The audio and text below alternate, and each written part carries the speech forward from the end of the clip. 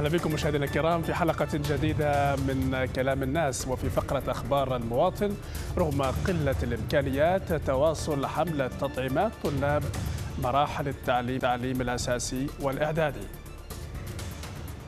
وفي ملف اليوم نناقش الخطر الذي يهدد الإنتاج الوطني للتمور نتيجة انتشار آفة سوسة النخيل والجهود المبذولة لمكافحتها.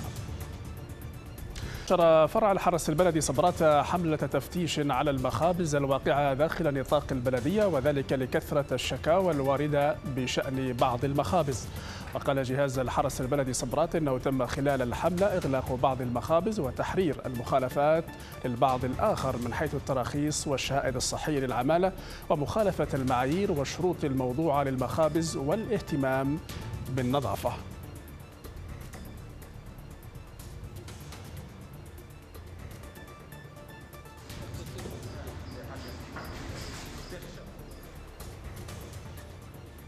أكدت شركة البريغ لتسويق النفط استمرار عمليات تزويد المحروقات مستمرة بالصورة المعتادة للجميع وخاصة في المنطقة الشرقية.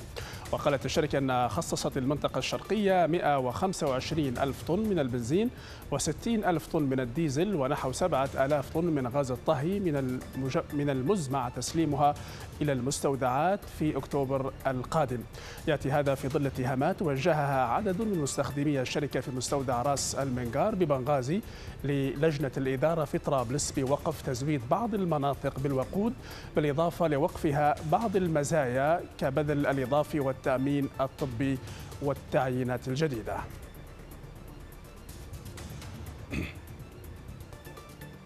تسبب تسريب غاز في حقل أبو الطفل في توقف امدادات الغاز بكمية تقدر ب 130 مليون قدم مكعب ما أدى إلى نقص حاد في تزويد الغاز. الأمر اللي ترتب عليه عجز في الشبكة الكهربائية يقدر ب 400 ميجاوات.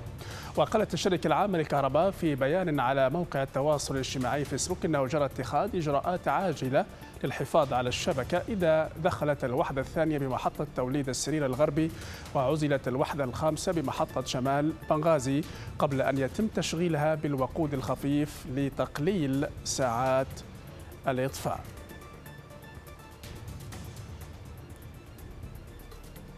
نظم مكتب إدارة التربية بوزارة التعليم دورة تدريبية في مجال التربية للفئات ذوي الإعاقة في مدرسة الجهاد بطبرق.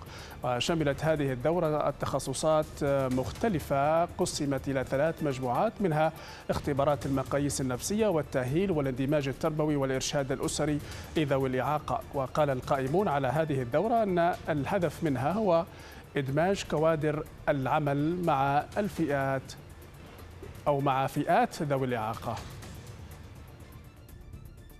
كل يوم تأخذ موضوع في الاندماج التربوي ذوي الإعاقة الهدف الأساسي منها إعداد كوادر في العمل في مجال الاندماج التربوي لمجال العمل مع الفئات الخاصة ذوي الإعاقة. مجموعة من الأساتذة منهم الدكتور ناصر المنصوري منهم الأستاذة سمية جهمي أستاذ عيد بعبودة ودكتورة سلمى الشاعري. كل حد يعطي في مجال تخصص في الفئات الخاصة في التربية الخاصة. المكتب القائم على هذه الدورة هو إدارة التربية الخاصة بوزارة التربية والتعليم. تستمر في طرابلس حملة التطعيمات الخاصة بطلاب مراحل التعليم الأساسي والإعدادي رغم قلة الإمكانيات ومنها مشكلة انقطاع التيار الكهربائي المتواصل ولساعات طويلة. هذا اللي ما وقفش أيضا سير هذه الحملات. استمرار حملة التطعيمات المدرسية والكشف والتطعيم الطبي اللي يشرف عليها البرنامج الوطني للصحة المدرسية للعام الدراسي 2018-2019 هالحملة سنوية يخضع فيها الأطفال الملتحقين بالصف الأول ابتدائي لكشف العيون والأسنان والصحة العامة والجلدية والباطنة على أن يتم إصدار شهاية صحية ليهم وأيضا طلبة الصف الأول إعدادي. خشيت بتاع العيون قدرت كشف بعدين مشيت بتاع الباطنية قدرت كشف ونزلت خلاص في الزحمة بكرة. عند هنا الصورة واضحة الوضع طبيعي الأمور تجري على النحو الصحيح. لكن لما قربنا الصورة لقينا أن مجهودات العاملين في هالمكان كبيرة بالرغم من قلة الإمكانيات والعرقلة. العمل تحت ظروف للأمانة صعبة خاصة انقطاع تيار كهربائي ساعات طويلة. ثلاجات التطعيم تتحمل فقط 72 ساعة في حالة عدم فتحها. ونحطه في قوالب الثلج لكن للأسف اليومين هم حرارة غير عادية وزي ما تشوفي إحنا في ظل عدم وجود تيار نشتغلوا مش موقفين لكن الشغل تحت ظروف صعبة شوية خاصة قلة الإمكانيات. يعني حاولوا قدر الإمكان نديروا في مجهودات ذاتية. لكن بالنسبة للكهرباء أكثر مشكلتنا الكهرباء لأن لازم التطعيم يبي ثلاجة. إحنا حتى لما نطعمه لازم نحطه على قوالب ثلج. المركز الصحي هايتي يعاني من انقطاع التيار الكهربائي حال حل أي جهة أخرى في البلاد. لكن اللي ما يخفاش على حد إن هالمكان وغيره من المرافق الصحية يعتني بصحة أبناء ليبيا المستقبل وأن التطعيمات تحتاج للتبريد والمكان يحتاج للتعقيم وحتى العاملين يحتاجوا بيئة مريحة تساعدهم على تأدية خدماتهم. وباستمرار انقطاع التيار الكهربائي وعدم توفير المولدات لها المراكز حتستمر المعاناة. خديجة محمد قناة سلام طرابلس. جلسة نسائية ضمن برنامج تدريبي لتمكين المرأة اقتصاديا تم عقدها في دار نواجي للثقافة بحضور عدد من ناشطات المجتمع المدني. تم فيها مناقشة التجارب الشخصية اللي مر فيها وك أو مر فيها عفوا وكيف أثرت عليهم هذه التجارب والظروف المختلفة على حياتهم الشخصية. ضمن المبادرات الساعية لتمكين المرأة اقتصاديا وتدريبها على العمل والمشاركة في شتى المجالات نظمت في دار النويجي للثقافة بالمدينة القديمة جلسة باش يتم فيها سرد قصة تدريب أكثر من 1500 سيدة ليبية في 36 مدينة على مدى عامين. موجودين اليوم في دار النويجي عندنا شوية جلسة في برنامج اسمه دراز نتحدثوا فيها عن تجربتنا في تدريبنا ل 1200 سيدة في برنامج Springboard والإدارة والقيادة. تكلمنا فيه مع الحضور أه تجاربنا اللي خضناها إمتى مشينا تقريبا almost لليبيا كلها. أه في بعض الأوقات كانوا نجيبوا فيهم السيدات من من جميع أنحاء ليبيا. الجلسة حضرها عدد من النساء من مختلف مدن ليبيا اللي يشتغلن في مجالات السياسة والمجتمع المدني وتم سرد القصص الخاصة بكل وحدة فيهن. الحاجة اللي مثلت فرصة لتبادل التجارب وفرصة لاكتساب الخبرات بين الحاضرات. له تأثير إيجابي في تغيير المرأة حول الأفضل. البرنامج يعطي أدوات معينة للمرأة بأن هي تبدأ بنقطة الانطلاق بنفسها سواء على المستوى المجتمعي سواء على المستوى المستوى الشخصي أو سواء على مستوى العمل. منظمات وجمعيات ليبية وغير ليبية مختلفة تقف وراء مثل هالفعاليات الساعية لتحسين أداء المرأة في المجتمع الليبي وتصحيح المفاهيم النمطية الموجودة عن المرأة. وائل أحمد لشبكة سلام طرابلس. في خطوة لاقت استحسان الوسط الفني في ليبيا وقعت الهيئة العامة للثقافة عقدا مع شركة اي امس لإنتاج سلسلة مسلسلات تاريخية من شأنها الرفع من مستوى الإنتاج الفني الليبي ودعم هذا القطاع بالإضافة إلى التعريف بعدد من الشخصيات التي كان لها دور هام في إنشاء دولة ليبيا. الحديثة والجهاد الليبية بعد فيلمي الرسالة وعمر المختار بالإضافة لمسلسل حرب السنوات الأربع. من جديد تعود الدولة الليبية إلى ساحة الإنتاج الدرامي الضخم والهادف. هذه المرة وهي الأولى من ثورة فبراير عبر الهيئة العامة للثقافة. حيث أعلن عن توقيع الهيئة عقدا مع شركة AMS الخاصة والرائدة في مجال الدراما الليبية لإنتاج سلسلة أعمال درامية تاريخية. تم التوقيع على شراكة في إنتاج عمل عمل درامي تاريخي في بين قناة سلام والهيئة العامة للثقافة لحكومة الوفاق الوطني. هذه أول إنتاج تاريخي مسلسل تاريخي اللي هو إنتاج باسم الزعيمين بشير السعداوي وسليمان الباروني آه آه هذا أول آه مسلسل درامي تاريخي حي حيبدأ أو حيبدأ في إنتاجه من من ضمن سلسلة من المسلسلات التاريخية والشخصيات التاريخية. العقد لا يتضمن إنتاج مسلسل أو فيلم وحيد بل سلسلة تختص بالشخصيات التاريخية والوطنية الليبية اللي ساهمت في تكوين معالم الدولة الحديثة والجهاد الليبي. اللي إحنا مقبلين عليه أو المشروع هو مشروع ضخم. المشروع فيه حس وطني عالي فيه تقديم مختلف لنماذج لشخصيات ليبية كانت قادة في الحقيقة لجهود وقادة لمشاريع وطنية أنقذت البلاد في السابق. الخطوة لاقت استحسان أوساط الفن في ليبيا خاصة بعد الانتقادات اللي طالت الجهات المنوط بها الارتقاء بهذا المجال.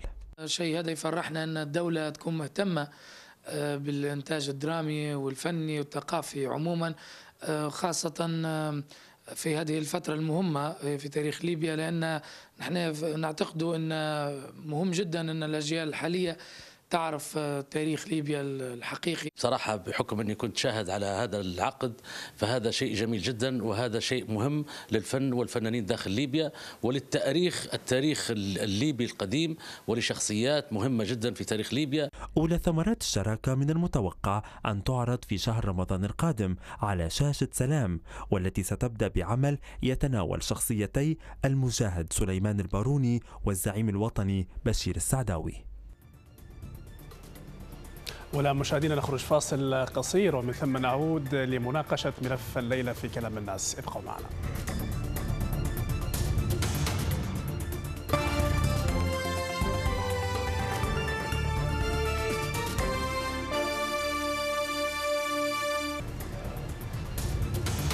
أهلا بكم مشاهدينا الكرام بعد هذا الفاصل لنناقش ملف الليلة في كلام الناس. رغم أن لشجرة النخيل رمزية كبيرة في ثقافة المجتمع الليبي إلا أنها أصبحت اليوم وفي الآونة الأخيرة تعاني من الإهمال في كثير من المناطق اللي تزخر فيها هذه الشجرة آه، المباركة. انتشار الآفات والأمراض اليوم بدأ يشكل خطر كبير وحقيقي على إنتاج ليبيا من التمور ويهدد أيضا من جهة أخرى حياة الكثير من الأسر اللي تعتمد بشكل مباشر وأساسي ورئيسي على محصول آه، ما زرعهم كل عام من خلال النخيل. اليوم نناقش في كلام الناس المشكلة هذه والقضية هذه ونسأل الجهات المعنية هل هي مدركة لخطورة هذا الموضوع وهل باشرت فعليا في حماية هذه الثروة اللي آه، إذا تم استثمارها بشكل جيد ربما تكون أحد مصادر الدخل المهمة في ليبيا مستقبلا. وأيضا هل توفر الجهات ذات العلاقة الأدوية والمبيدات اللازمة للمزارعين وكيف يمكن وبشكل سريع حماية هذا الإنتاج الوطني. الآن نشوف التقرير الجاي اللي يحكي تفاصيل أكثر حول هذه القضية ومن ثم نعود لمناقشتها مع ضيوفنا الكرام. شجرة النخيل. هذه الشجرة المباركة جزء لا يتجزأ من هوية ليبيا وتنتج ليبيا حوالي 150 ألف طن سنويا من التمور المختلفة بأنواعها وجودتها العالية. النخلة هي مصدر دخل أساسي للعائلات اللي تعتمد على الزراعة.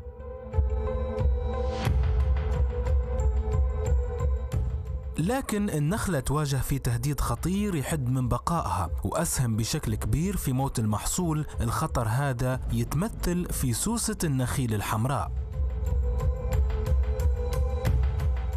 السوسة هذه تعشش في النخيل وتبدأ تضع في بيوضها بكميات كبيرة ومن ثم تتحول إلى يرقات واليرقات هذه تتغذى على الجذور والألياف لعندما تصبح النخلة خاوية وغير قادرة على الصمود أمام الرياح. المزارعين بدوا يشتكوا من هالآفة الخطيرة اللي بدت تهدد محصولهم ومصدر دخلهم. نعاني إحنا في هذه المنطقة من الآن جتنا إصابات أمراض ثلاث أمراض خطيرة. هو مرض الحشرة القشريه الخضراء اللي الآن أثرت على الإنتاج وأصبح النخيل الآن آه، أصيب بمرض. وأيضا الإنتاج الآن أصيب ببعض الإصابات اللي حالت دون نضوج انتقالا من مرحلة الغمق الأخضر إلى منطقة البلح الأصفر. آه، هنا بدأت الحشرة تأثر على اكتمال النمو. وطبعا هذا أثر على الإنتاج وأصبح التمر آه، يعني مقزز. آه، وأيضا الطعم بتاعه غير قابل للاستهلاك البشري. وهذا بيأثر أثر علينا وسبب لنا مشاكل كبيرة. الآفات هذه اللي تنتشر في مزارعنا متنوعة وأصبح المزارعين مكتوفي الأيدي أمام هذه الآفة في ظل عدم قدرتهم أو دعمهم من الجهات المعنية لمكافحتها. بالإضافة في مرض عندنا الغباش أو ما يسمى الحلم الحلم باللغة العربية والغباش باللهجة العامية. هذا حدو يؤثر على الإنتاج في مرحلة الغمق الأخضر اللون الأخضر. هذا حدو خطير وبيحول دون حصول على إنتاج جيد قابل للاستهلاك. في أيضا بالأعوام السابقة أصبنا بمرض اسمه مرض الدوباس وهي العسيله اللي طبعا حشرة تثقب الجريد وتثقب السعف ويتساقط منه مادة لزجة آه، طعمها سكري. طبعا تتغذى على هذه الحشرة الدوباس. وهذا حتو أيضا آه، أثر على النخيل وعلى الإنتاج. وأساء يعني تسويق النخيل التمور الليبي الآفات هذه شكلت خطر كبير على الإنتاج الوطني للتمور واستدعت وقفة من اللجنة الوطنية لمكافحة آفة سوسة النخيل للتعامل معها وإنقاذ النخيل. الإصابة في المزرعة كبيرة جدا فيها عشر مزارع مصابة في مدينة هون. آه، تم مستمر العلاج إحنا كلجنة نشتغلوا قاعدين نقولوها في كل القنوات العالمية وأنتم مشكورين قاعدين نشتغلوا بإمكانياتنا المحلية برغم أن فيه دعم من وزارة الزراعة بارك الله فيهم ومن المركز الوطني لمكافحة الآفات والحجر الزراعي. فيه مصايد وفيه شوي مبيدات جهازية. إحنا حاليا نقوم بعمليات القشط والفحص والتنظيف. إذا كان لقينا إصابة نعالجه وإذا كان ما لقينا حتى هو بنعالجه علاج وقائي ونلفه بالبلاستيك زي ما شفت تشوفوا أنتم. وإن شاء الله ربي يقدرنا خير ونطلبه من جميع الناس في في في في ربوع الوطن في ليبيا في الجفرة في مدينة هون التكاثف مع اللجنة. يا أخواننا رام اللجنة شباكم رمضناكم همهم النخله همهم الوطن همهم هالشجرة المباركة. عملية العلاج تتم عن طريق إخراج الحشرات من شجرة النخيل ورش المبيدات الحشرية والأدوية. مصايد حديثة أو زي ما فتحنا قدامكم آه موجودة فيها حشرة. باستمرار إحنا طبعا كل ثلاث أيام أربع أيام إلى خمس أيام نفتح ونلقوا في حشرة اثنين في كل مصيدة. آه نشوف في حشرة قدامنا. نشوف جنسها. هذه أنثى ميتة طبعا بحرارة بنظام الحراري اللي هو في الوحدة في في المصيدة هذه أنثى. هذه زي ما تشوفوا قدامكم. الحمد لله المصايد حتى هي دايرة دور معنا كويس تشتغل كويس إن شاء الله. جت سوسة النخيل من جنوب شرق آسيا وجاءت إلى جزيرة العرب عن طريق استيراد فسائل نخيل مصابة ومن ثم انتقلت إلى شمال أفريقيا. يا ترى هل تنجح هيئة الزراعة في القضاء على هذه الآفة وتعود ليبيا لتصدير تمورها بكمية كبيرة من جديد؟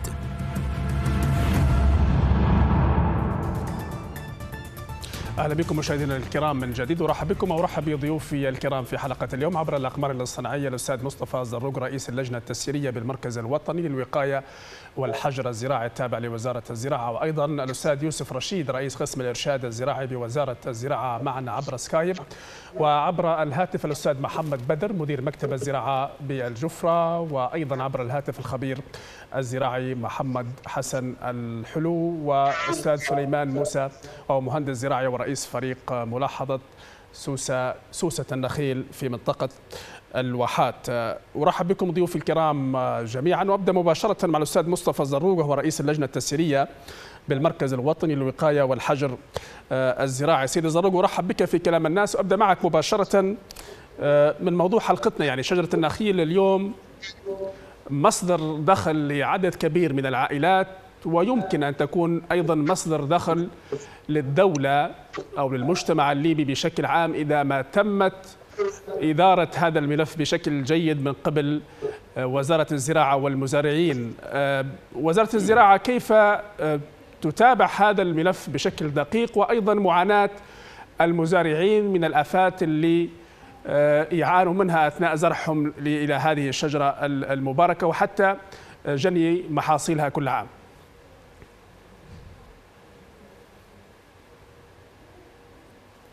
بسم الله الرحمن الرحيم. كما أشرت في التقرير هي الإصابة جت خارج من خارج ليبيا.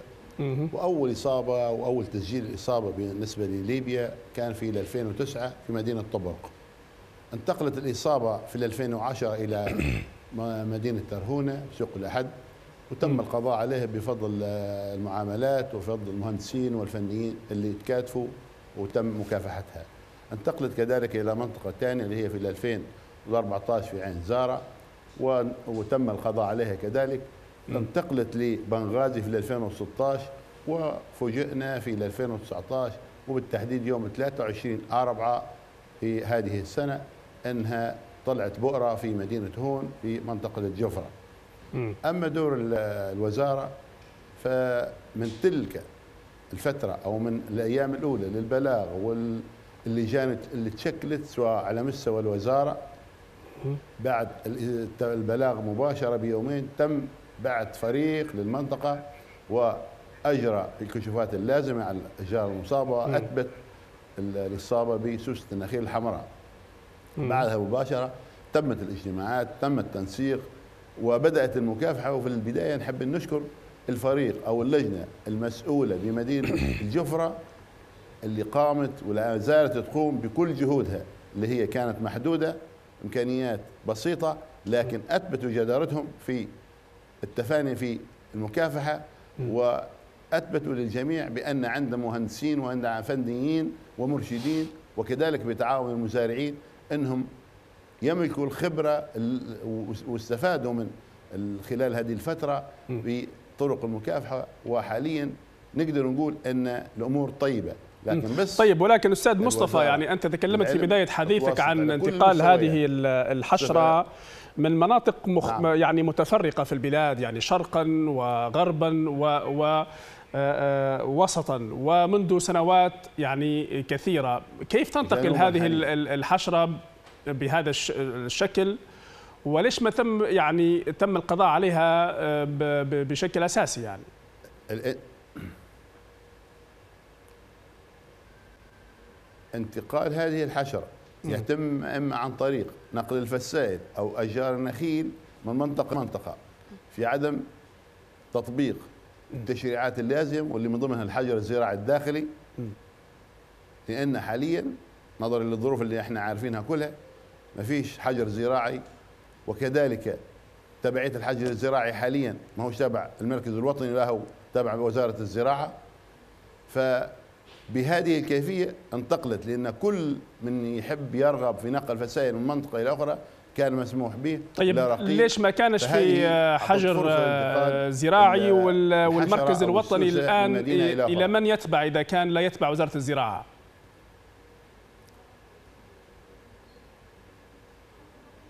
الحجر الزراعي يتبع حاليا المركز الوطني للرقابة على الأغذية و على الرقابة على الأغذية والأدوية ما يتبعش أمانة الزراعة مهم. وفي تنسيق ونتمنى أن يعود الحجر الزراعي لوزارة الزراعة حتى يتم السيطرة على الحجر الزراعي لتطبيقه سواء خارجيا أو داخليا ونتمنى أن شني يكون في تعاون من كل الجهات سواء الزراعة سواء ال- المركز الرقابة على الأغذية سواء طيب ليش تم نقل هذا التخصص؟ يعني هو ال- جهات ال- الحرس البلدي، التخصص آه،.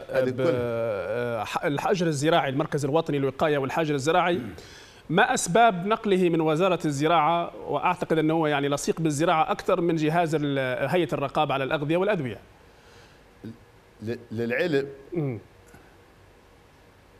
للعلم أن انشئ المركز الوطني للوقاية والحجر الزراعي بناء على رقم رقم القرار اللي هو 98 لسنة 2012 مم. والفترة هذيك الحجر الزراعي كان تبع المركز الرقابة على الأغذية قبل انشاء المركز. وكان في عدة اجتماعات صارت وعدة لقاءات ولكن لحد الآن ما تمش استعادة ال- الحجر الزراعي للمركز الوطني. لأنه كان يتبع قديما وزارة الزراعة لكن في الظروف اللي التقت فيها وزارة الزراعة في السنوات السابقة اللي هي قبل 2010 آه تم أيلولة الحجر الزراعي للمركز الرقابة على الأغذية وما يخص المبيدات إلى الهيئة العامة للبيع. هذا اللي صار وإحنا نتمنى الآن أن تعود آه، المسؤولية كاملة للحجر الزراعي تبع المركز أو تبع وزارة الزراعة وكذلك ما يخص المبيدات من استيراد وغيرها لكذلك وزارة الزراعة. طيب ابقى معي سيد مصطفى سأعود إليك. أذهب مباشرة إلى الأستاذ يوسف رشيد رئيس قسم الإرشاد الزراعي في وزارة الزراعة معنا عبر سكايب. أستاذ يوسف أرحب بك في كلام الناس. أبدأ معك مباشرة يعني من شكاوى المزارعين من هذه الآفات التي تنتشر بين الفينة والأخرى وتضر شجرة النخيل بشكل خاص وهذا ما يؤثر على حياتهم اليومية والعملية بشكل مباشر. لكن انتشار هذه الآفات وخطرها على هذا على هذه الشجرة هل هي مشكلة إرشاد وتوعية من قبلكم أم أن هناك أسباب أخرى؟ الإرشاد يعني ربما بعيد عنها. بسم الله. بنصح بس الاسم يوسف علي أحمد عبد اللطيف ليس نعتذر منك. نعم. معلش وبالنسبة لي نحن كإرشاد زراعي أي شيء يتحول لنا من المركز البحوث الزراعيه أو من المركز الوطني للوقاية أو أي أي معلومة يا إما بنوضعها في مطوية يا إما عن طريق الإذاعات اللي هي عن طريق القنوات. أنا شخصيا سبق وإني دخلت للقناه الرسمية ولا القناه الوطنية ولعده قنوات وشرت لموضوع الحشرة القشرية الخضراء وعليه شجرة السوس. من أكثر من سنة فاتت. وإحنا دائما وابدا إن نحث الفلاح على أساس إن الطرق اللي يتبعها باش يقي نفسه من أي آفة بغض النظر حتى قال عليه آفة اللي هي سوسة النخيل أو الحشرة القشريه أو الغباش بتاع النخيل. ف وقد تكون بعض الأمراض أو الآفات الزراعية مشتركة لجميع اشجار الفاكهة. إحنا دائما باستمرار نتابع ولكن للاسف في الوقت الحالي اللي هي من من عدة سنوات إمكانياتنا إحنا كإرشاد وخاصة في المناطق مش شابحيننا مش عاطينا شيء. حاليا تو إحنا قسم إرشاد زراعي طرابلس ما عندناش حتى مقر نتيجة الظروف الحالية. ولكن إحنا دائما باستمرار. أنا كنت السنة اللي فاتت طلعت لنخيل كان فيه إصابة وتوقعتها أنها هي سوسه النخيل وحولت الشخص نفسه. وحولتها اللي هو مركز الافات الزراعية المركز الوطني للافات الزراعية في قبل ما يمسك الأستاذ مصطفى وطلعوا له لجنة. ودائما إحنا يكون في تعاون ما بيننا وما بين الإدارات الأخرى اللي هي إدارة الوقاية إدارة ال...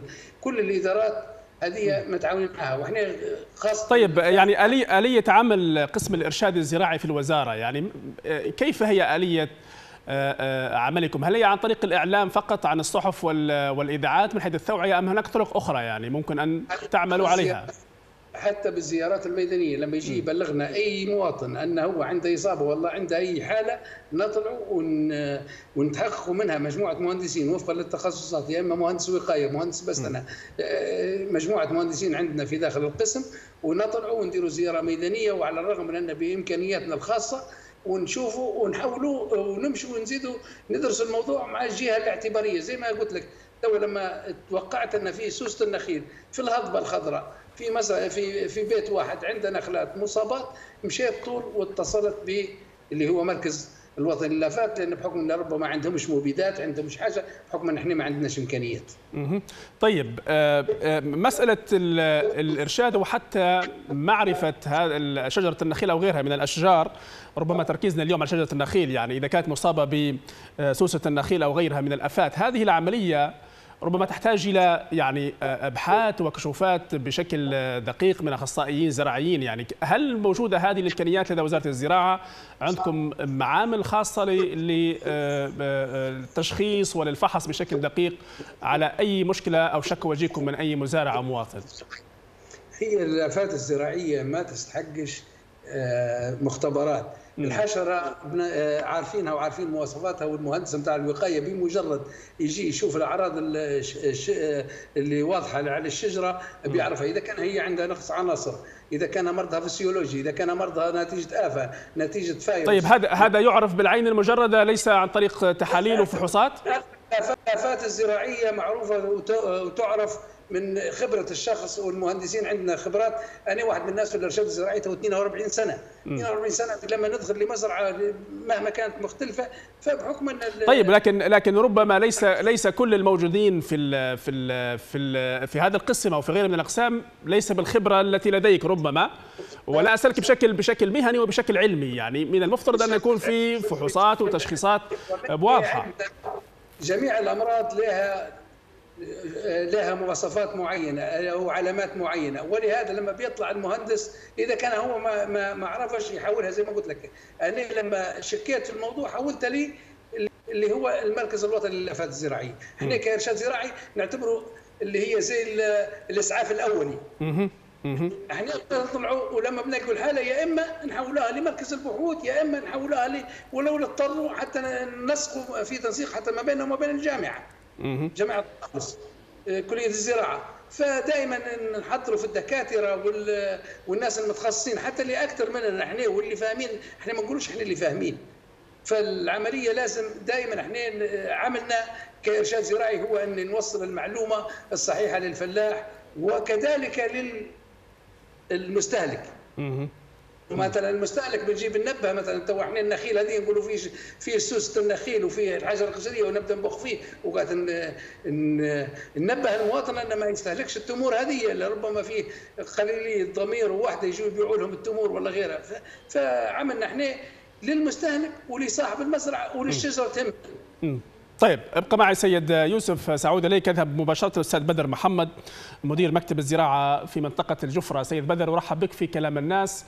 منطقة الجفرة يعني المناطق المعروفة واللي تزخر بعدد كبير من أشجار النخيل و حتى تصدر هذا الدخيل إلى المناطق المجاورة لها وكل المناطق في ليبيا بشكل أساسي. ولكن هناك شكاوى كثيرة من المزارعين حول سوسة النخيل وغيرها من الآفات اللي أحيانا تصيب بعض الأشجار في بعض المناطق وهذا ما يؤثر على المحاصيل السنوية بشكل مباشر. الزراعة في الجفرة والنخيل في الجفرة ومتابعة مكتبكم إلى هذه الشكاوى وهذه المشكلة كيف؟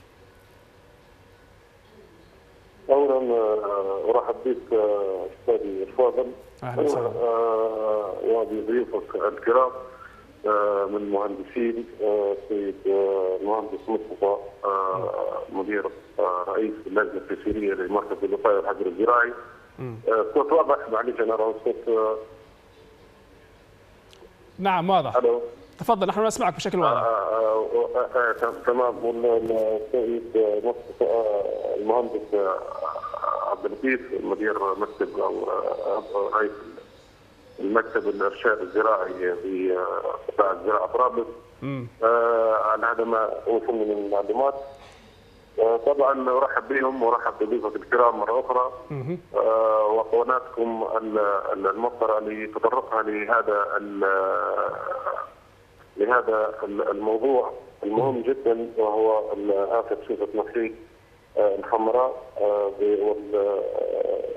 التي اصيبت بها منطقة الجفرة في تاريخ 23 4 2019 طبعا من المهم التعريف بشجرة النخيل وما تعنيه شجرة النخيل في بلدية الجفرة.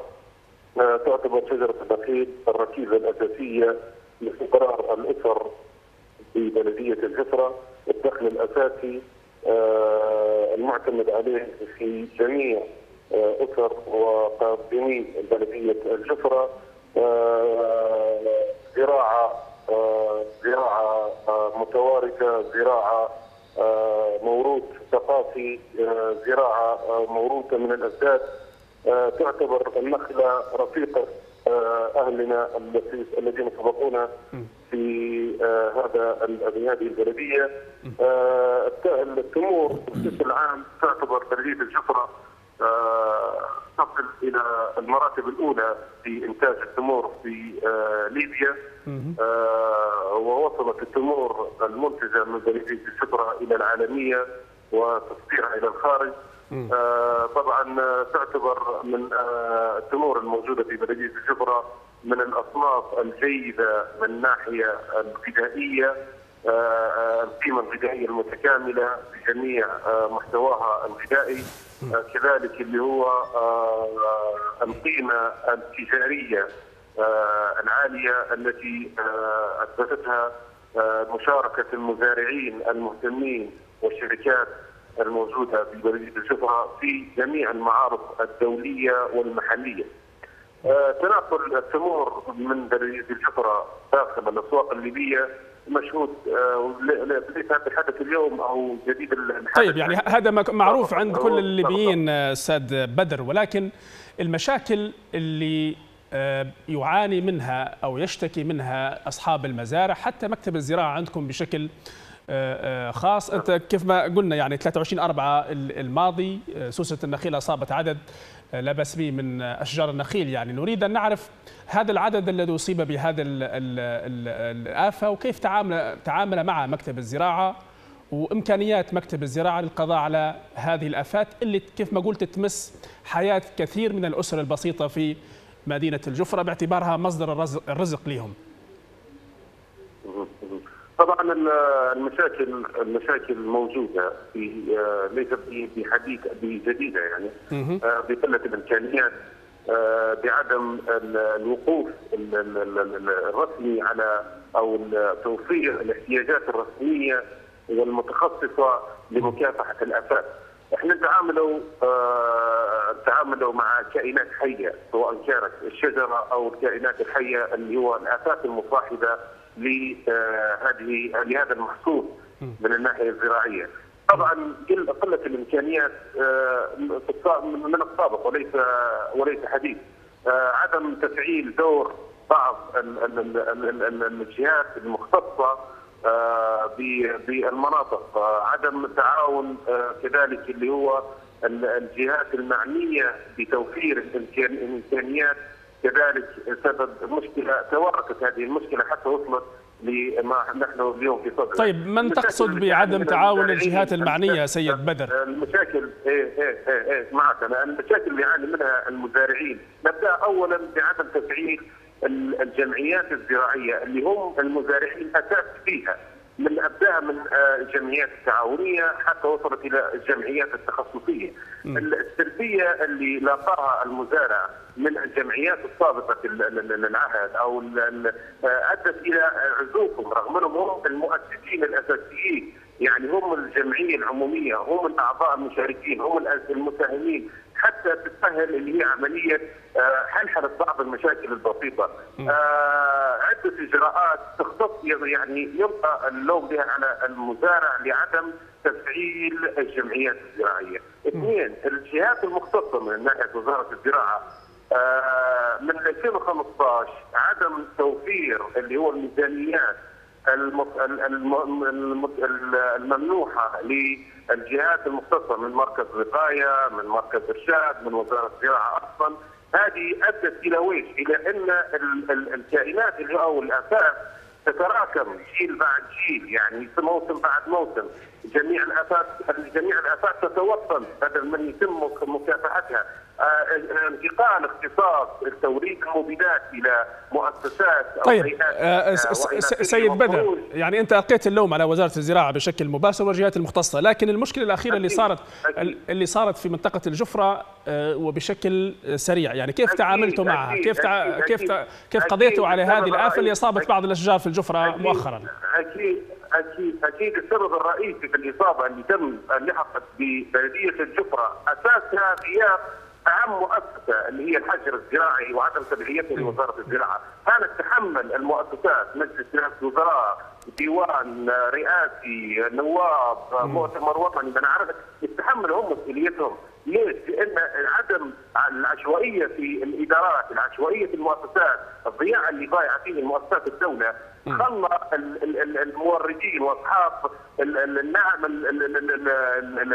ما نعرفش الشيوع المالي ما نعرفش توريد سموم توريد توريد توريد فسائل غير غير غير مراقبة رغم إنها موجودة يعني إحنا المؤسسات غيبت القانون، القانون اللي مشرع من أيام المملكة طيب. ما نعرفش التاريخ بالضبط نعم. اللي هو بعدم توريد توريد توريد المحاصيل، توريد المنتجات المنبثقة من مشتقات النخيل، توريد فسائل، توريد مبيدات غير مسجله غير نمطيه طيب نعم شكرا يعني شكرا. هذا يعني اثرت نقطة مهمة يعني سيد بدر محمد مدير مكتب الزراعة في الجفرة. شكرا جزيلا لك. أعود إليك مجيد سيد مصطفى الزروق.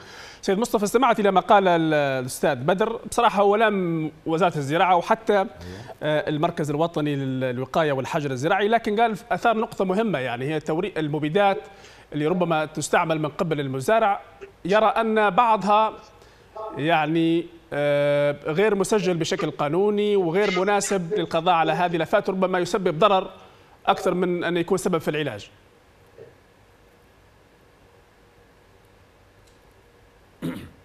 اللي يقصد الأستاذ بدر وأنا معاه في كلام م. إن الموردين اللي يقوموا باستيراد المبيدات ما هيش ما هيش ما همش تبع لوزارة الزراعة. هذول أشخاص آه، قطاع خاص يتم استيراد المبيدات بدون مراعاة للشروط اللي هي أقرتها الوزارة لأن في قانون وقاية النبات اللي هو من سنة 68 كذلك في لائحة الحجر الزراعي فيه عدة قوانين وتشريعات اللي هي صادرتها حتى الوزارة أو وزير الزراعة في ما يتمش تطبيق فيها أو مراعاتها. فاللي نطلبه إحنا إن الهيئة العامة الليبية اللي هي مسؤولة حاليا على توريد المبيدات وهي تعطي في موافقات للموردين إن يتم التنسيق بينها وبين لجنة المبيدات اللي هي تسجل في كل المبيدات اللي تدخل لليبيا والمفروض أي مبيد ما هوش مسجل يمنع دخوله عن طريق الجهات الضبطية عن طريق الجمارك عن طريق الجهات اللي هي المسؤولة على دخول هالبضائع هذه أو المبيدات هذا اللي يقصد الأستاذ بدر وإحنا معاه. لأن المفروض إن كل ما يدخل من مبيدات تكون مسجلة طيب يعني هنا وزارة الزراعة مش مفروض لها علاقة بهذا الموضوع بشكل أساسي. أم أن مسألة التوريد يعني آه، هي بعيدة كل البعد عن وزارة الزراعة. ممكن التاجر أو المورد يمشي يجيب الحجم اللي يبيه بدون لا. مواصفات معينة من وزارة الزراعة أو رقابة بشكل خاص من وزارة الزراعة. بعيده حاليا بعيدة وزارة الزراعة. حاليا وزارة الزراعة والمركز الوطني للوقاية والحجر الزراعي بعيد على استيراد المبيدات وما ليش أي علاقة وما يطلبوش منا في أي ورقه ورقة أو شهادة أو رسالة تثبت آه، أي شيء. هذا اختصاص حاليا للهيئة العامة للبيئة وهي تعطي في الموافقات. طيب ما فيش تعاون بين الهيئة العامة للبيئة ووزارة الزراعة؟ عودة التخصص حسب علمي أنا أنا كمركز وطني ما عنديش أي علاقة لعلمك بالهيئة العامة للبيئة. إلا اتصال شخصي أو في إطار آه، ندوات أو كذا بس. لكن كموافقة أو رسالة معينة ما عنديش أي اتصال معهم حاليا. طيب. ونتمنوه ان يرجع الموافقات بتاع استيراد المبيدات لوزارة الزراعة. طيب. آه، شكرا لك الأستاذ مصطفى الزروق رئيس اللجنة التسييرية بالمركز الوطني للوقاية والحجر الزراعي بوزارة الزراعة. كنت معنا عبر الأقمار الاصطناعية من العاصمة. طرابلس شكرا آه، جزيلا آه، لك. أذهب مباشرة الأستاذ يوسف عبد اللطيف هو رئيس قسم الإرشاد الزراعي بوزارة الزراعة عبر سكايب. سيد يوسف استمعت إلى ما قال السيد بدر يعني والمشكلة الأخيرة اللي صارت في منطقة الجفرة بتاريخ 23 4 وتكلم حتى عن نقاط أخرى يعني منها آه، توريد المبيدات بشكل آه، آه، غير أو غير قياسي غير ملائم للأشجار النخيل ربما يفسد لا يصلح لكثير من المشاكل والآفات اللي يعاني منها المزارع. الإرشاد هنا كيف دوره حتى فيما يخص هذه النقطة؟ هو ينبه في كل الحالات أن المبيدات عندهم فترات أمان وعندهم مبيدات تكون جهازية هذه ما لازم أنك أنت فيها الجار لما بتكون التمور متاعها شبه جاهزة للنضج هذه ما ترتشش بها. وبعدين كل حشرة لها نوع من المبيدات. والمبيدات في مبيدات مسموح أن تدخل لليبيا وفي من مبيدات غير مسموحة. لكن توا يا مبارك خش وخلاص.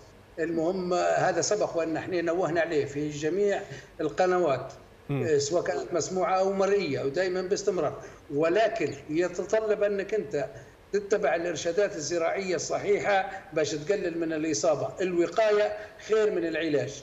الوقاية أنك أنت مثلا الوقت الحالي الواجب أنك أنت توقف على عملية التقليم الأشجار وتربيتها وريها وخدمة الأرض بتاعها باش أنت تقلل الإصابة إذا كان أنت ما اشتغلتش صحيح وما وحاليا أنت لما بتدير بتجرح النخلة وبتخلي فيها خدوش وفيها واحدة هي السائل يطلع منها يعتبر مادة جذابة للحشره القشريه للحشره لسوسه النخيل. وهي تتطلب أنك أنت الفترة هذه قبل الشتاء لين يوصل الشتاء الواجب أنك توقف عملية اللي هو التقليم خاصة اللي هو نقول إحنا تنظيف العراجين والجريد والحاجات هذه باش ما تدير الجروح وبعدين بعد ما تدير تقص الاشجار هذه يتطلب إنك أنت ترشها بمبيد. الفسيله طيب. قبل تزرعها لازم تغمرها تغمرها في وحده طيب المهم أن الكلام هذا يعني ينقل إلى إلى المزارع والمزارعين بشكل مباشر. أشكرك كل الشكر سيد يوسف عبد اللطيف رئيس قسم الإرشاد الزراعي بوزارة الزراعة. كنت معنا عبر سكايب. شكرا جزيلا. لك مباشرة الأستاذ محمد حسن الحلو وهو الخبير الزراعي عبر الهاتف. سيد محمد أرحب بك في كلام الناس. من قضية اليوم يعني الآفات اللي تعاني منها يعاني منها المزارعين وتضر بأشجار النخيل اللي هي مصدر لعدد لا بأس به من العائلات الليبية وأيضا البعض يعول على أن يكون هذا المنتج مصدر دخل للدولة بشكل عام وللشعب الليبي بشكل أوسع وأكبر. أنت كيف ترى الزراعة اليوم في ليبيا؟ دور وزارة الزراعة كيف من المفترض أن تكون عليه الزراعة اليوم وحتى غدا؟ بكل لكم كل الشكر وتقدير قناة السلام.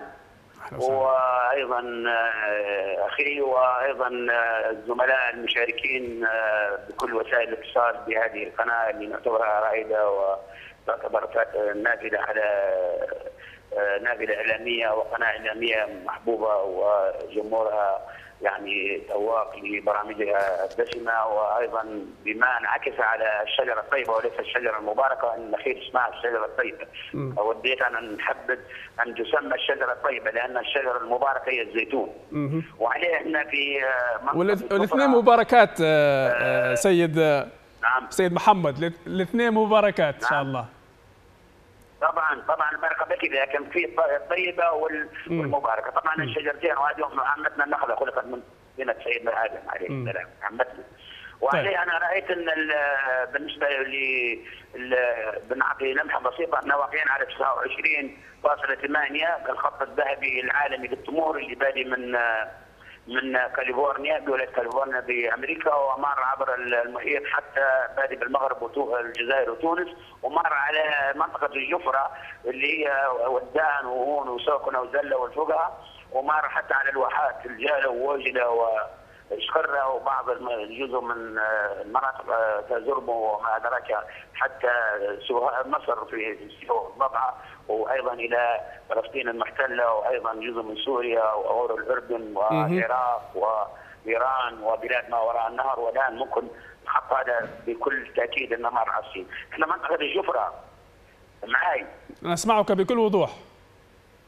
أيوه منطقة الجبره طبعا تحوي على حوالي 4 مليون ونص حصة الاحصائيه الأخيرة من أجود نخيل البلح في العالم. وعلى اللي متربع على راسها نخله الحليمة اللي إحنا حازت على الترتيب الأول في مذاق روما سنة 2010 وهذه النخلة يعني أنا دائما اضطرينا حتى نسمي من فرحتنا بها سمينا عليها بناتنا حليمة ونحن معتزين بهذه الشجرة اللي أبت إلا طيب. الزراعة اليوم في ليبيا سيد سيد محمد حتى حتى نستثمر الوقت معك. يعني وزارة الزراعة الزراعة اليوم في ليبيا كيف من المفترض أن تكون عليه وحتى في المستقبل البعض يعني يعول على الزراعة في ليبيا بأن تكون أحد مصادر الدخل القومية والمهمة بشكل مباشر للليبيين. كيف ترى اهتمام الوزارة بهذا بالزراعة في ليبيا بشكل واضح؟ طبعا إحنا ماركين امالنا على التوسع الزراعي في في وزارة الزراعة بما لها من جهود لأن بيعتبر رافد للاقتصاد القومي في ليبيا وأيضا إحنا الآن متشبثين بالبقاء في صحراء فيها درجة الحرارة حتى فوق ال 50 ومن ال 45 وال 47 وال 50 وحتى 52 وهذا طبعا ممكن إذا كان أصابتنا هذه الامراض مثل سوس النخيل الحمراء و الحشرة القشريه الخضراء وأيضا مرض الدباس اللي وضعنا عليه في الثمانينات واللي جاء ليبيا في السبعينات في منطقة زلة اللي تبعد عن التوام الخمسة حوالي 160 عن مدينة هون ومدينه ودان و180 كيلو عن مدينة هون وانتشر والدولة دخلت بالعلاج الجماعي بالطائرات وبالحملات الرش بآلات الآلات الرش نعم. الجراد الصحراوي وغيره فكانت الحملات عامة والدولة دعمتها وهذا شيء جميل لكن الآن السوس النخيل اللي جت طبعا بتحاول إنها بتدمر لنا النخله لانها اسمها ايدز النخيل وعليه إحنا الآن كما مرض الهبول اللي ضرب الساحل الليبي في الزيتون. الآن إحنا جبنا السوسه هذه وهذه اسمها ايدز فعليه الايدز انت عارف إنه ما يعالج بالأمر الهين. وعليه نامل من وزارة الزراعة. الآن أنا بنشكرها في بالحمله اللي جابتها جت للجفره وعلى أرض الواقع والآن شاهدناها. داروا بعض العلاجات اللي نف البلاستيك والحفر الأنفاق والقضاء على هذه الحشرة وخاصة بطور اليرقات اللي تبدأ شرهه وتحصل وتوصل للقمة النامية أو الجمارة وهذا بيقضي عليها والآن أيضا إحنا الزملاء تكلموا عن الحجر الزراعي ولكن إحنا درنا الحجر الزراعي داخل منطقة الشفره نعم. لأن الآن الاصابه في مدينة تون هي مركز البلدية وعليه الآن وين ما تنتشر على بعد 20 كيلو حوالي عن ودان ولا 15 كيلو آه وأيضا إلى الغرب هون مدينه السوكنه نعم. طبعا هنا معناها ضربنا هذا الخط الذهبي والانتاج طيب اللي وصلت الفكرة برغم أنك لم تجبني على سؤالي سيد بدر ولكن الوقت يداهمنا الاستاذ محمد حسن الحلو وأنت الخبير الزراعي كنت معنا عبر الهاتف من منطقة الجفرة. كما أشكر كل ضيوفي الكرام الذين كانوا معي في حلقة اليوم مع حفظ الألقاب والصفات والشكر موصول لكم مشاهدينا الكرام حسن المتابعه والمشاهدة ودمتم بألف خير. إلى اللقاء.